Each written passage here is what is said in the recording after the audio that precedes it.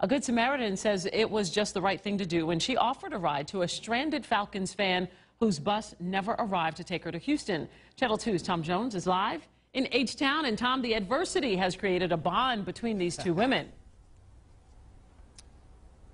Jovita, Nicolea Washington and Angela McNeil were strangers, had never met each other. Now the two are on the road to being best friends, and they are here in Houston, rising up together. That's after McNeil helped Washington out of a very tight spot.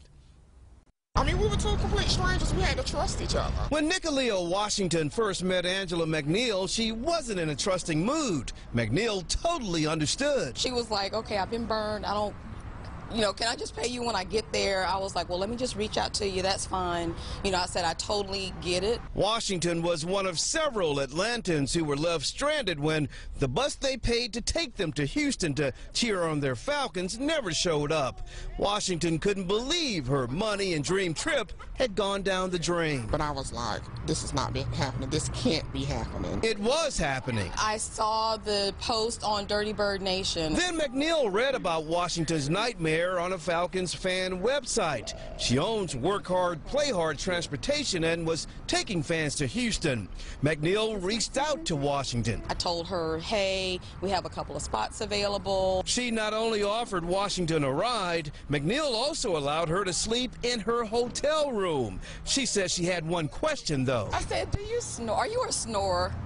I had to because I, I, was just like. Yes. That didn't stop her. The two have become pretty good friends through this ordeal. Oh.